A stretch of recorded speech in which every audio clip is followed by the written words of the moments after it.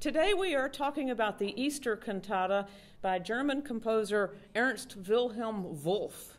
Wolf was not a Moravian, um, but um, the Moravians knew and loved a lot of his music.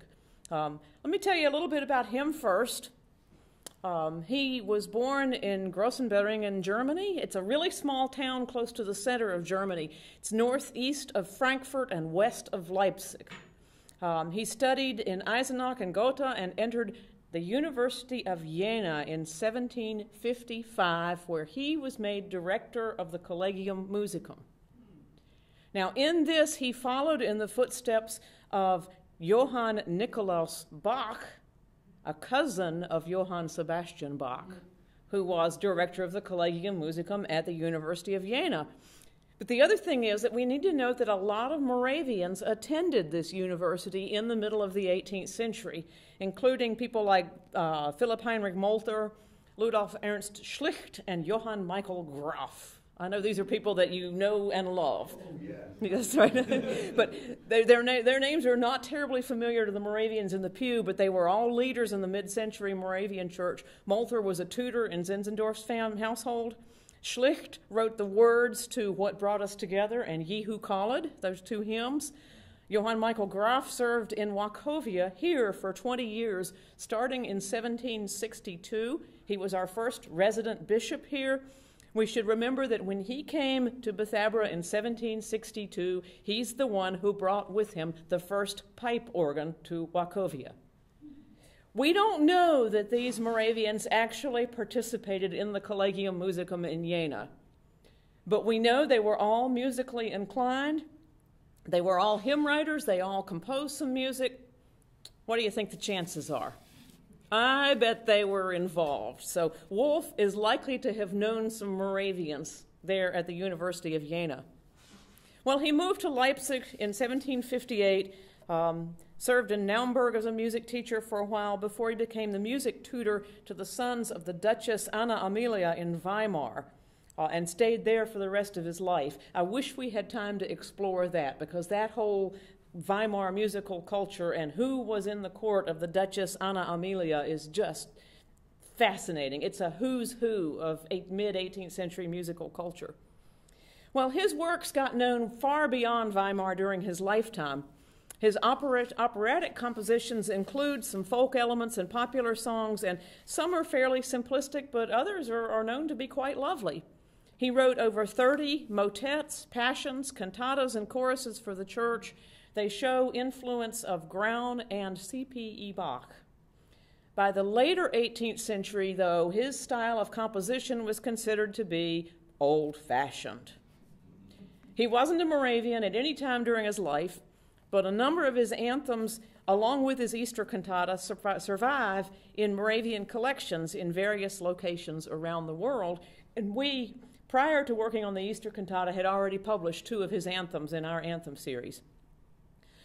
The Easter cantata survives here in our uh, collections in a set of parts copied by Moravian composer Johannes Herbst and a full score that belonged to Herbst that was published in 1781, I believe, 1782.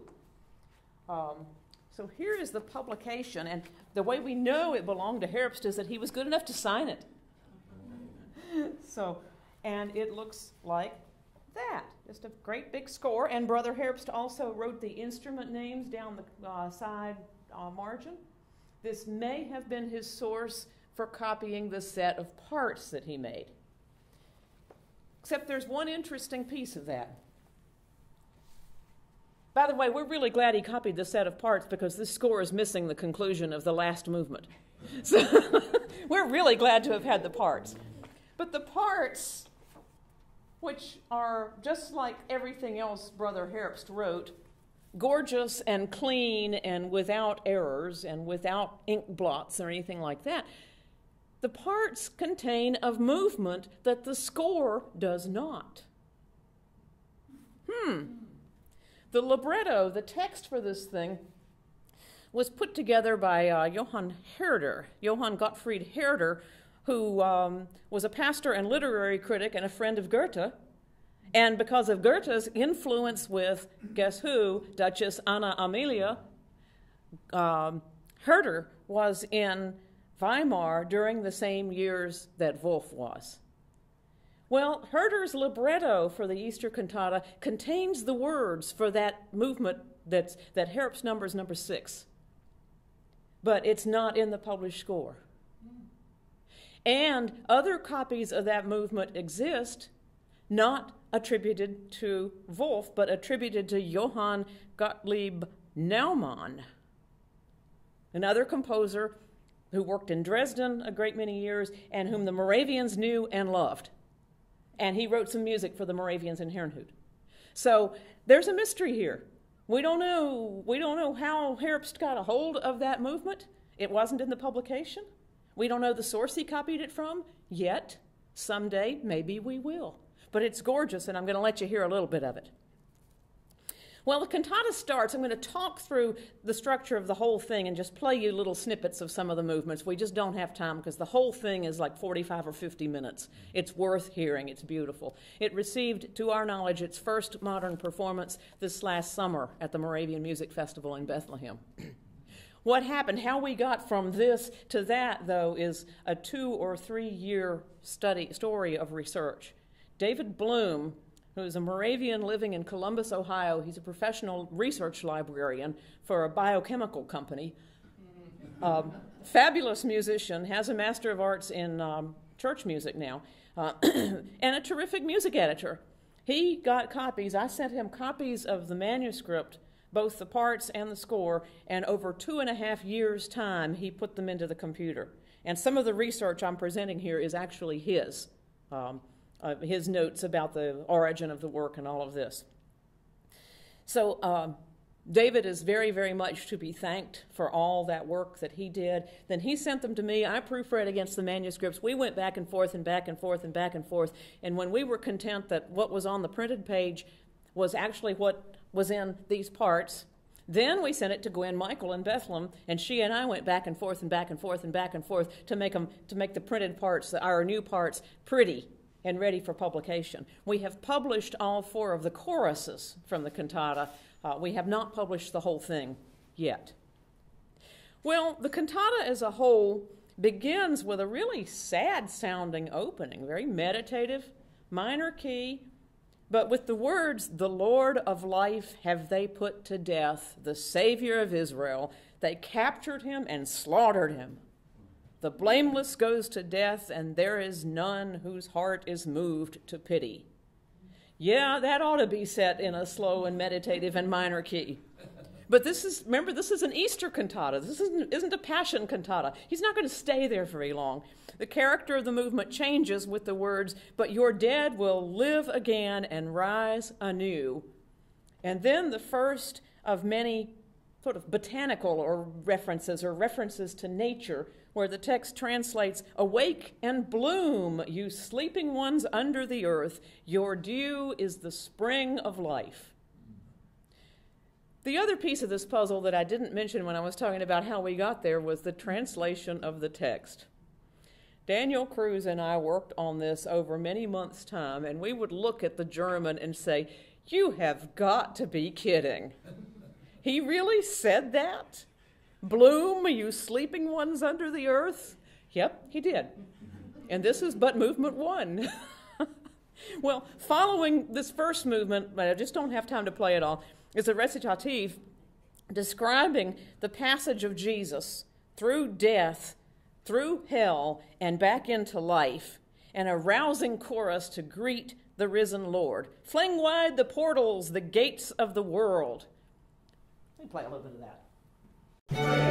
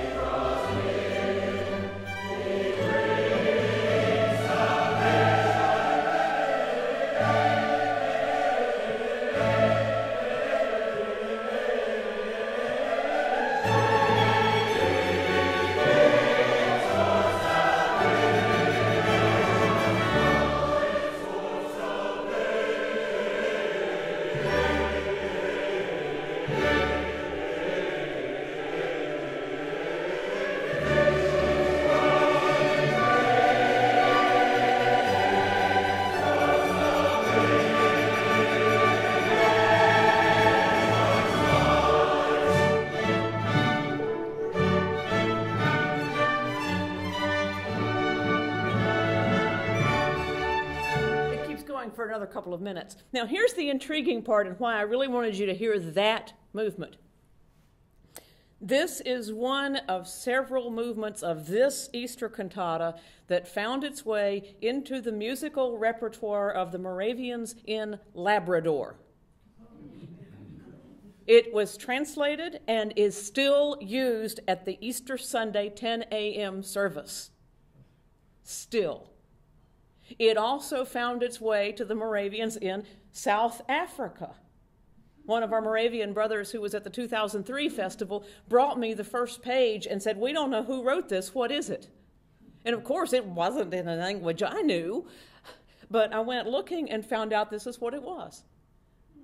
By the way, of the seven or eight known surviving copies of this Easter cantata, the manuscript in the world, I think six of the eight came through Moravian hands. We're the ones who loved it and kept it. And when it went old fashioned, that didn't bother us.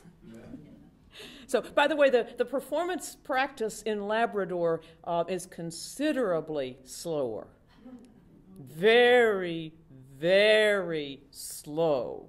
So, we probably wouldn't recognize it, and they probably wouldn't recognize this. well, anyway, following this jubilant celebration. Uh, by the way, the text again is the same as the same German source for the hymn "Lift Up Your Heads, Ye Mighty Gates." Um, yes, it's the same German source. Um, following that is a chorale for the congregation to sing, like so many cantatas of the day. Um, very straightforward. Uh, conventional harmonies, rejoicing in that Jesus has overcome death and that he's risen, and then a recitative for two tenors starts with some more references to nature. Listen to this translation. As the once far departed beloved sun sighs and longs for spring's return, and as in cool of night its weary eye is weeping when rosy dawn already breaks the mournful fog and tears the veil and becomes light. Thus Mary weeps, and as she weeps, forlorn, Close beside her, Jesus stands and names her. Well, that's tenor one. Tenor two jumps in to tell the story of the two disciples on the road to Emmaus. Then tenor one comes back with the story of Jesus appearing to the disciples in the locked upper room.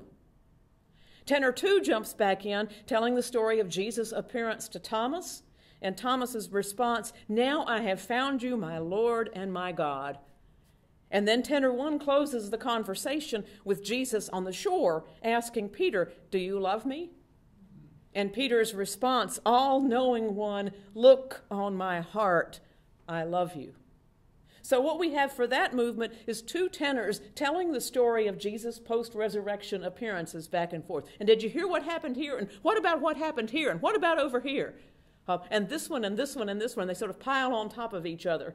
So, it's a wonderfully creative way to, to tell those all those different stories. You get the little snippet here, and then the little one here, and then the little one back and forth like that. Um, the next movement is the number six that we that I mentioned that appears not to have been written by Wolf, but rather by Naumann. Um, and you know, I don't know how it got to Herbst. Interesting. This was published, I mentioned, in 1782. Remember that Herbst didn't leave Europe to come to America until 1785. So, and he had been copying music for many years by the time he came over here. Um, his copying is just an amazing thing. So, anyway, follow, let's listen to a little bit of that. You need to listen to a little bit of the of the um, the quartet that we don't know where it came from.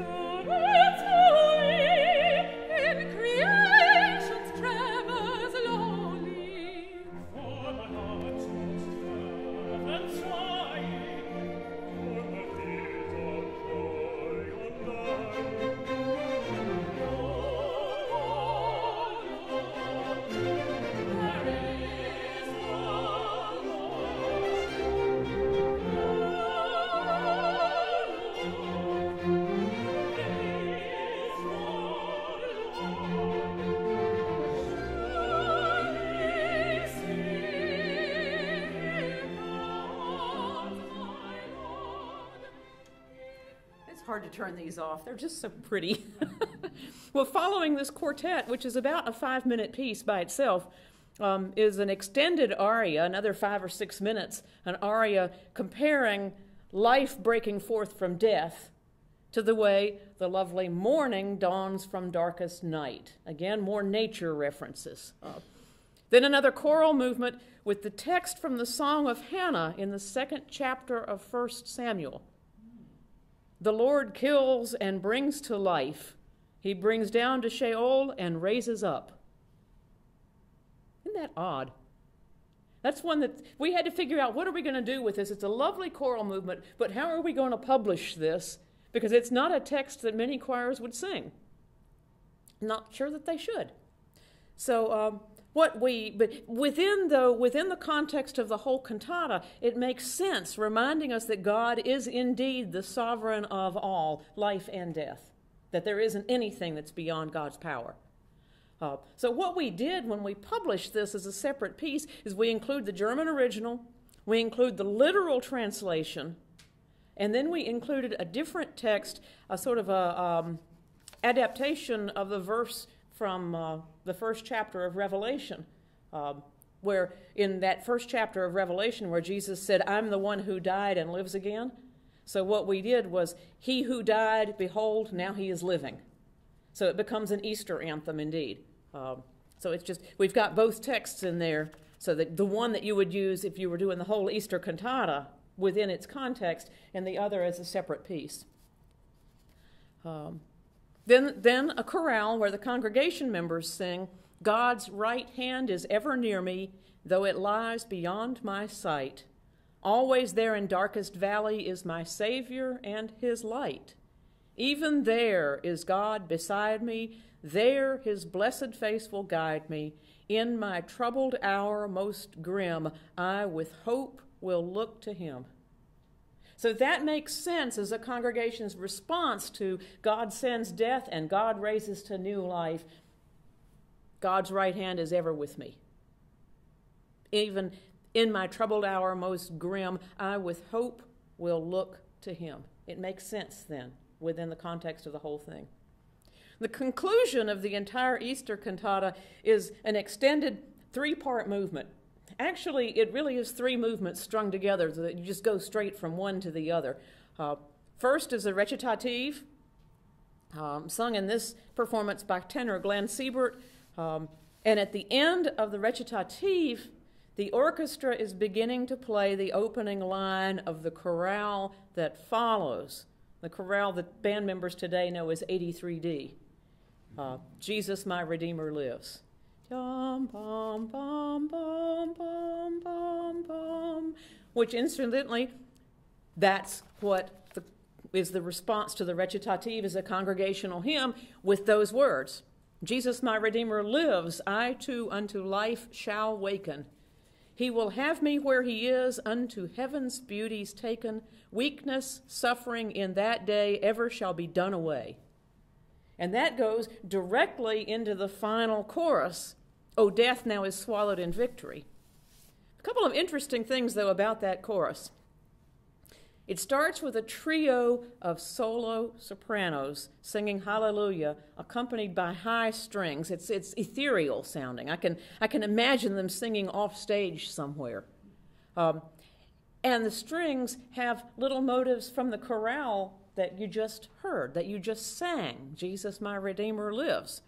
Then the chorus kicks in, one part after another, rejoicing in Christ's victory over death.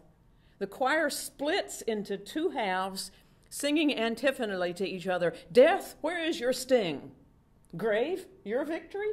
And it's like, it's like they're scoffing, the Christian is really scoffing at death, which thought to hold us captive, and instead death itself has been swallowed up in Christ's victory. Then, after we go back and forth with that a little bit, then there's a fugue of praise to God. And finally, it ends with the three sopranos singing Hallelujah. It's fairly long. Um, so it's like a, this is like a 10 minute movement, but I would love for you to hear it. If you need to leave, I won't have my feelings hurt. But I do want you to hear this whole, this whole last movement. So beginning with the recitative, then moving through the chorale, then, then uh, the chorus.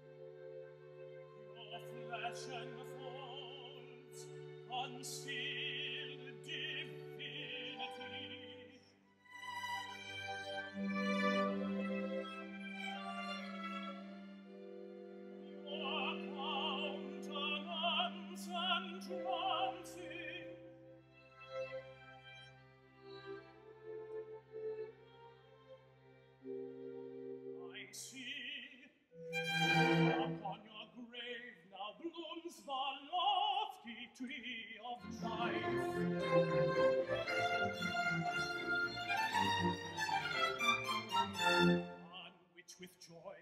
The whole creation lifts itself from dark decay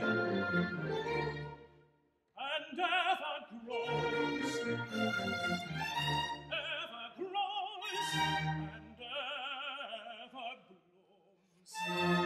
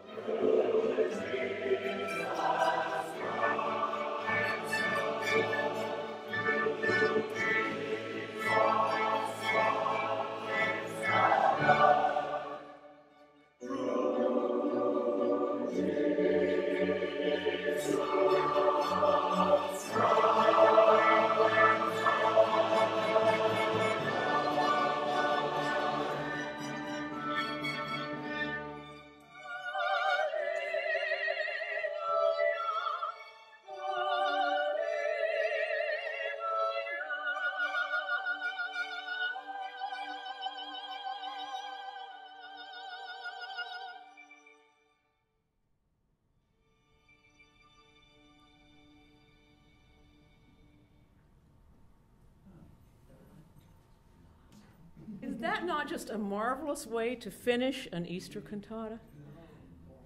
It's just like we're floating up to heaven. So that's why I wanted you to hear the whole thing, because the whole movement is as raucous as you expect uh, the end of an Easter cantata to be. And I think that drift up to heaven is absolutely brilliant writing. Um, it's very deeply moving to hear. So How many weeks of rehearsal were necessary to prepare that piece? Four days. Oh, wow. This was done at the Moravian Music Festival this summer. They saw it for the first time Monday morning. And so And per- actually, not even that long because you saw it Monday morning and performed it Wednesday night. you never know. Now, what they had, we mailed the music to the participants ahead of time, and I had generated audio files off of the music software that would give you an idea of sort of what it would sound like, mechanical sounding, but at least you could you could begin to get it in your ear off the audio files on the computer. But they they had three days to pull that together. John Sinclair is thinking to do a professional recording of that possibly this fall. Um, so, which would, would be wonderful. He'll do it with a smaller group, and the closing fugue will probably be a good bit faster. Uh, all praise to God, the victory he has given. And it's like that. It'd probably just move along a little more. Who is the composer of the, of the chorale in that, the one of the congregations? Oh shucks, John, I don't remember off the top of my head. It was it was one that was around a whole lot. Uh, Was it eighty-three in- D, did? It's 83D, yeah, and it's been around. It was around in Germany a whole lot during those years. So um, Wolf just adapted it. He brought it in, set Herder's text to it, and did his own harmonization. So it's a slightly different harmonization than's in our hymnal. So, uh, mhm. Yeah, because that's a wonderful Easter hymn. Isn't it? Isn't it? So when we when we published the the the, the choral movements um, for that one, we published the chorale and the chorus. So it actually begins with the with the chorale and then moves into the the final chorus. So, well, Is that a CD that's it's uh, part of the music festival CDs, and I, I gotta check and see just how how much can we make it available, because it just was written uh, was done for the uh, participants in the festival to have, but we'll we'll find out, Fran. Um, next month, Moravian Lower Brass.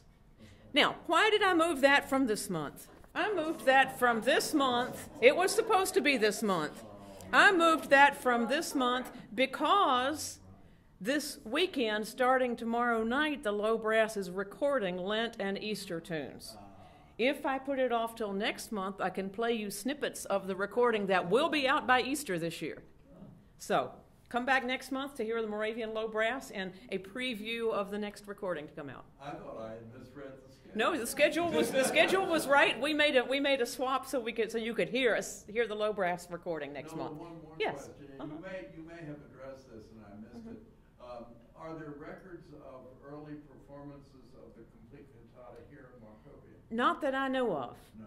No, we have we have found next to no records of exactly what was performed here, other than some Sundays. We know special festival Sundays. Uh, in Nazareth, Pennsylvania, they uh, they kept a record of concerts that were done, and that record spans something like 30 years. Um, I don't think the Wolf was done in its entirety there, but we don't have a corresponding record of concerts here. I wish we did. I wish we did. Maybe it's going to turn up in somebody's attic or basement or organ chamber. All right. Thank you very much. See you next month.